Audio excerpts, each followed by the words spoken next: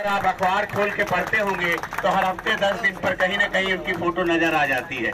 तो इन्होंने बनारस के लिए अपना बहुत बड़ा योगदान दिया है और अपनी संस्कृति की पहचान देश और विदेश के पटलों पर बना के रखी है। तो आज की नीलू मिश्रा जी हमारी मुख्य अतिथि हैं। अभी ये दो शब्द अपने मुखार बिंदु से बोलेंगी। इनका जोरदार तालियों से स्वागत है अट्ठावन परसेंट किया तो कहीं ना कहीं हम लोग सिक्सटी फाइव तक क्रॉस करने का पूरा प्रण लिए हैं। कुछ ज़रूरी बातें हैं जो कहीं ना कहीं लोगों से छूट जाती हैं और बहुत सारे मतदाता वोट देने से रह जाते हैं और मैं बताना चाहूँगी कि आपके माध्यम से जो, जिनको जानकारी नहीं मिल रही है, सबसे पहले सबको बताना है कि आपकी मतदाता पर्ची अपने पास अवश्य रख क्योंकि वोटिंग पर्ची से आपको ये पता.